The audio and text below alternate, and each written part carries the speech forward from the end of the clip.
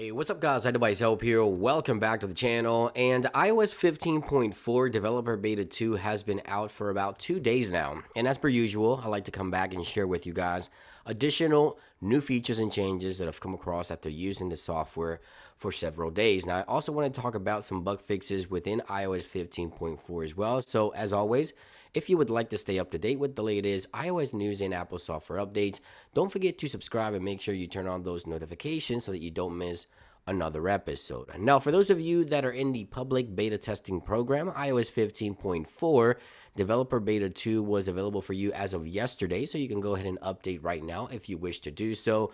Now, this software brings a lot of hidden features in source code, starting with the driver's license and IDs feature that Apple is hoping to bring to iOS 15 sooner rather than later. Now, source code found within iOS 15.4 suggests that Apple could be launching this feature finally with iOS 15.4 on a handful of states. And I think Florida is one of the states that should be getting this at the initial launch here in the United States. I'm really looking forward to the driver's license and ID features. Again, source code has been found within the operating system, which hints at Apple working on this feature being launched with 15.4. Now, there's also some changes to the magnifier application on your iPhone. So if you triple click here, if you have this setting set up here, if we go to the camera options, we now have lens options. Here we have three different options for lens. We have auto, we have close up, and then we have front. So three different options under magnifier, which are welcome addition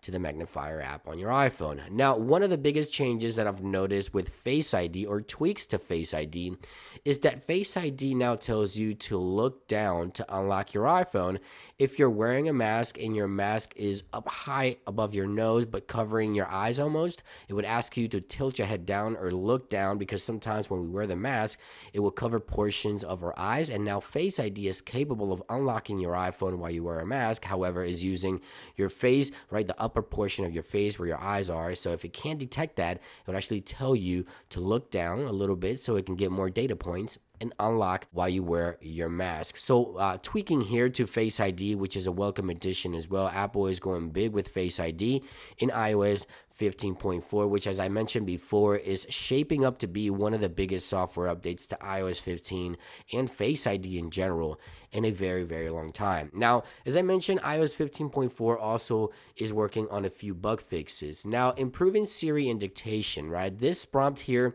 is something you get when you go to set up your iPhone, and you will get this when you first install iOS 15.4 initially. Now, you opt in or opt out to send your Siri interactions on Apple Watch, on iPhone, and HomePods, you can opt in or opt out to send these voice recordings over to Apple to improve the service.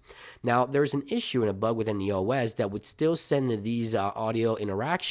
So if you opt out or opt in, it didn't matter, it would still send them. So Apple is fixing a bug within the software right now. Once again, this has happened before, where these uh, interactions were being sent to Apple, and you will be prompted once again when you update to 15.4 to opt in or opt out of the particular feature here, improve Siri and dictation. So again, guys, it's been over 24 hours. There's additional new features that I've come across. As always, I like to share those with you guys.